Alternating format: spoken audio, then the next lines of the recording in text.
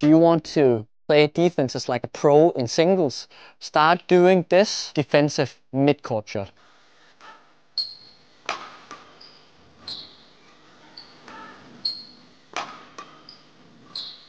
Before we continue with the video, please subscribe to this YouTube channel. We promise you that we will continue to deliver great badminton content every week. Thank you. So having variations in general in badminton is never a bad thing.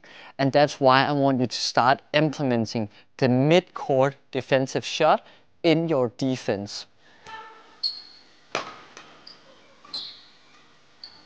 So what is it exactly? Basically, it's a defensive shot. Let's say my opponent did a smash on me, that I'm playing the defensive shot, but I'm not playing it short as I usually would do.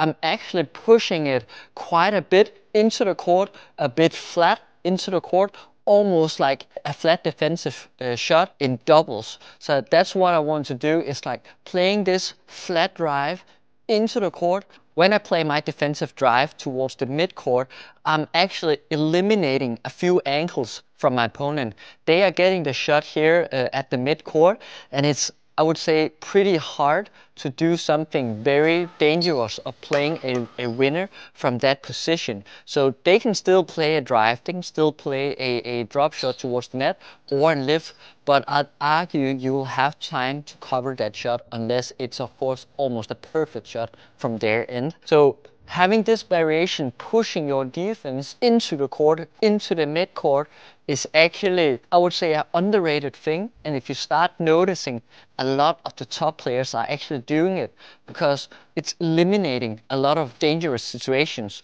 So usually, some would do a smash on me. I do a defensive block. In that block, maybe they're able to move towards the net, do a proper kill. Maybe they're able to do a perfect spin.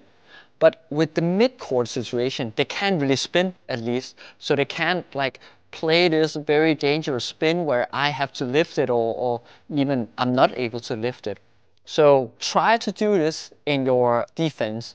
But what I want you to focus on, of course, needs still to be careful and don't overuse this. Use it from time to time, getting the shot into the mid court, but not use it always because then if I'm the opponent, I would play a smash and then I'd be ready to really jump towards it uh, on the mid court. Uh, and then it starts to get dangerous. It's that this, this surprising moment that they are playing a smash and normally they want to focus towards the net and then suddenly they're almost getting it in the face.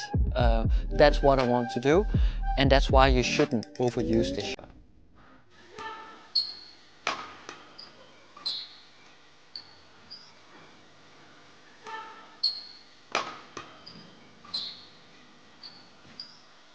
So now we've been through an alternative to your single defense, a shot where you play the, the defensive shot into the mid-court. Don't overuse it. Use it from time to time because then you'll be able to surprise your opponent and that might actually turn the defensive situation into an offensive situation. So try it out and uh, let me know how it works.